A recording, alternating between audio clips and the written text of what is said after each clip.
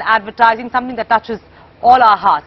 And who better than the advertising veteran Alec Padamsee to share his thoughts on the decade gone by and of course tell us about the three most iconic campaigns of the decade. Thank you so much Alec for joining us on the show. Well, lovely to be here. I mean, this is very interesting for me. I mean, the decade, wow, I must say iconic, you know, means that it is something that stands out long after its time has gone. Now, I think the one that will be remembered, even if it's not aired, and I think they've done a marvelous transition, is the is the is the Vodafone campaign, which originally was the Hutch, which was originally the Orange, which was originally originally original, uh, uh, and that campaign with the pug, and they've kept the pug. They, they've changed the boy, who's always the, the the pug is always following the boy, to now the pug is always helping the girl. Sure. But it's still the pug. The pug is, if you like, the brand ambassador. And I'm glad they've retained that. Why don't we uh, take a look at what uh, the agency has to say, the client has to say, and look at the making of uh, this wonderful ad, the Vodafone Pug ad. Great. The dog had become the mascot of the brand.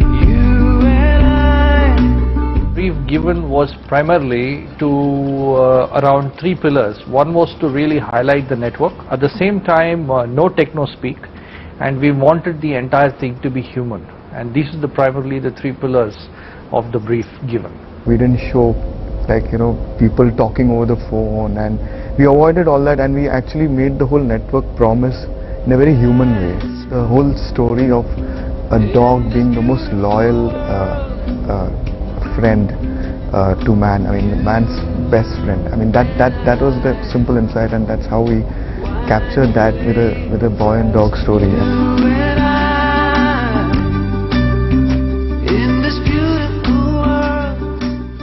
We never expected it to be such a big thing where people would actually start buying pugs and uh, the pug prices would go up and this was never expected.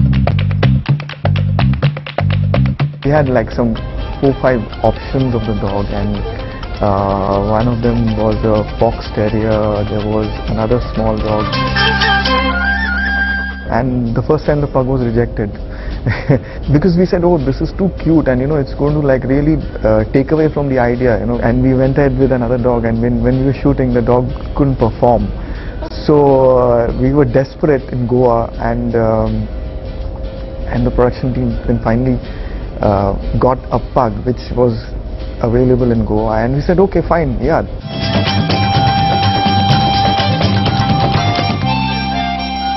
So from Vodafone Pug, who Yeah. would you nominate next as one of the most iconic campaigns? Fevicol has done a super job.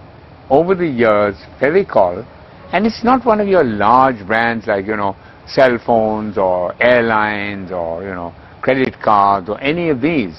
It, it is a brand with a reasonable budget, but the, it has really impacted our emotional retina, and that's something I strongly believe in. They have one single idea or one single promise, and that is we stick the best. No, that's all they say. And then they show and the, the fishing, Fishing. You know, you, I love that that one. Know? Alec, that's interesting because I mean your number one and your number two Yeah. uh, campaigns that you've just told Yeah. us about, interestingly, both come from O&M. What does that tell you about the advertising industry? That tells me that OM has done a, done a superb job. In the last decade, it has outstripped all competitors. Every time I think of an ad, it's usually an O&M ad. That's great. So let's uh, take a look at what client, what the agency uh, had to say about this iconic campaign. If the man on the street talks about it, if he loves it, even if it, that brand doesn't directly connect with his everyday life, I think you've pretty much achieved it. And I think Fevicol does that brilliantly. most of the other advertising is so unreal that Fevicol is, re- is refreshingly real. So it, it's a lovely take on a, an observation of Indian life.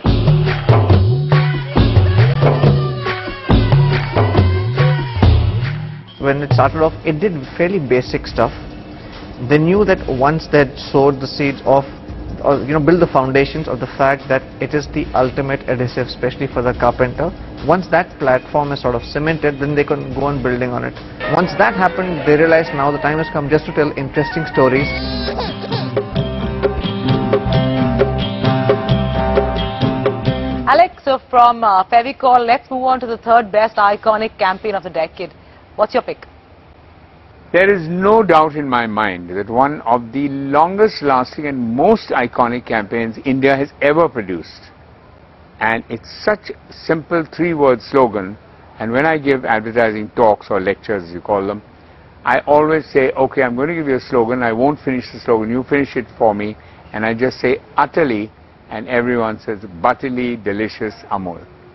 What could be stronger than that? But what's interesting about that campaign is that it is very topical. So basically a hoarding campaign. Absolutely. So it's basically a motorist campaign and a pedestrians campaign.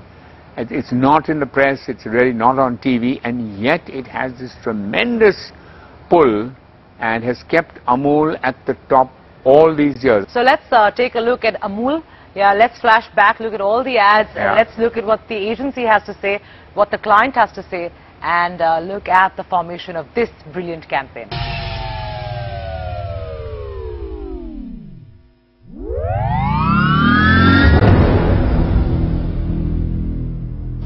Amul hoardings, uh, which you see, we change almost uh, once a week, uh, has been going on for now almost about 41 years. We've tried to maintain over the last 40 years consistency in theme.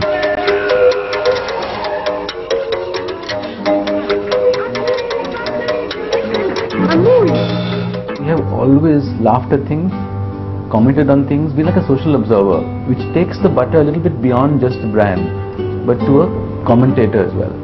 Main thing about the campaign is that we go topical. So if you notice every seven days there's a new topic and this is true of all India. Cartoons are a great way of getting a child onto your side. Utterly, utterly delicious. Amul. And this line just, just formed. Dad just wrote this line and it sort of stuck. It is the basic idea underlying Amul, which is the good of the farmer who produces milk, good of the consumer who consumes the milk. And this act of balancing the good of both, that makes Amul what it is.